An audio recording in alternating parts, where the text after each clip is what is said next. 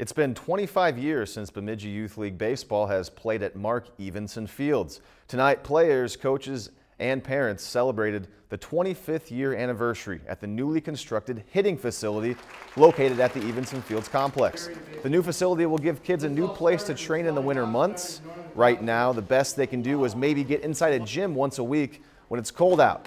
This new hitting facility will definitely change that. Yeah, I thought it was going to be pretty cool that you could hit year round and not have to wait till summer. If you've enjoyed this segment of Lakeland News, please consider making a tax-deductible contribution to Lakeland Public Television.